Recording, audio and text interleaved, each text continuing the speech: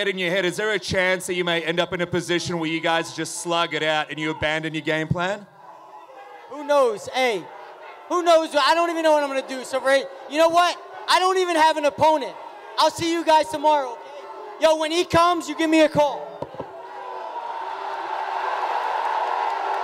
You uh, mentioned coming to 209 in Brooklyn and coming back to all over the store, but Madison Square Garden has such an uh, iconic history in combat fighting sports. When you do come to MSG, is the goal always going to be to put on a huge, uh, significant event like this? Yeah, well, we always try to put on the best events we can. Uh, you know, every time we do an event, it's it's all a, a matter of uh, timing, who's injured, who's not, who's next, what's going on. There's a lot of factors that go into into a card. Um, but this build up for New York's been so long and, and, and so big. And the first time at MSG, I just wanted to hit it out of the park for this one. And thank God, not only did uh, you know everything stay, stay together, we lost Rashad, you know, and, and Tim Kennedy, but but the card has pretty much stayed together, which lately is, is is impressive for that to happen. Are you annoyed at all that Conor McGregor can't make it here on time? Speaking of the devil. Here he is.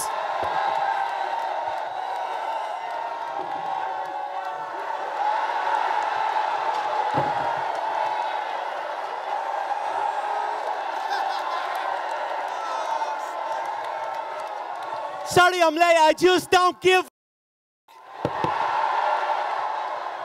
Uh, Conor, this question's for you, Connor. Conor McGregor. Conor, where have you been?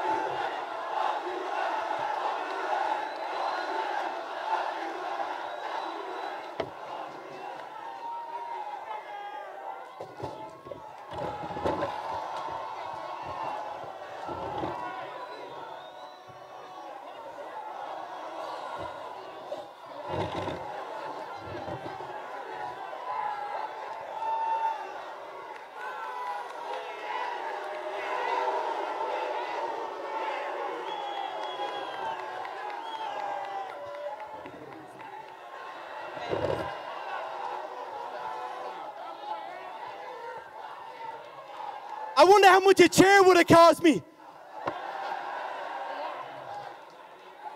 Don't give a what Eddie says.